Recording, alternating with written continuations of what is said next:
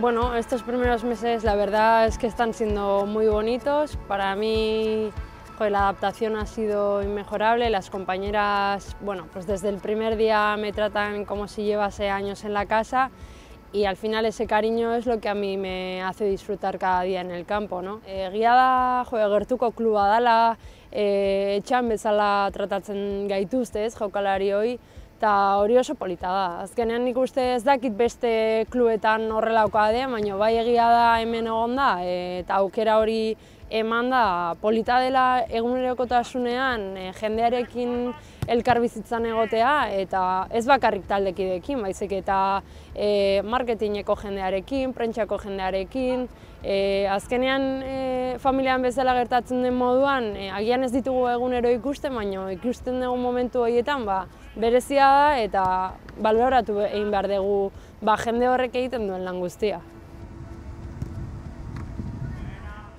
Muchas veces no es fácil salir de un sitio en el que has estado tanto tiempo.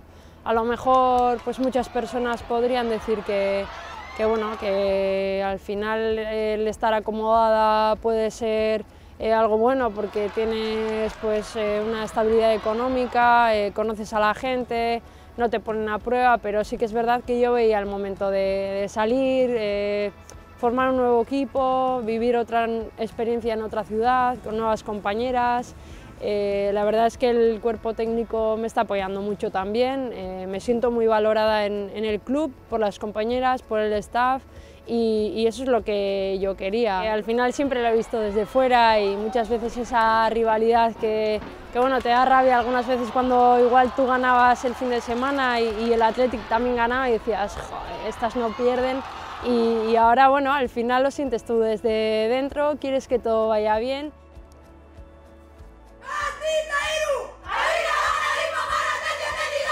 Gainera atletikekin e, etxean jokatu nuen lehenengo partida izan zen, ez alde zaman izan ba, nik uste nuen bezala, ez? Azkenean e, nik uste jo, gogora etortzen zait, aste hori oso polita izan zela, baita ba, bai realaren kontra izateagatik, baina baita nire lehen partidua etxean e, San Mamesen izateagatik.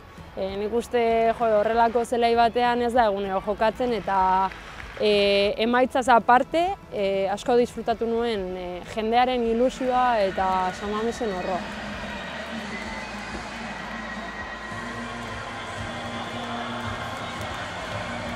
Helburua e, gorenen gelditza dela, ez? E, azkenean ikuste garrantzitsua dela bai goiko talde taldeen kontra ondo borrokatzea edo ondo konpetitzea, baina are garrantzitsuagoa da ba, bueno, erdi tablan eta B tablan dauden ba, taldeen aurkak ondo konpetitzea.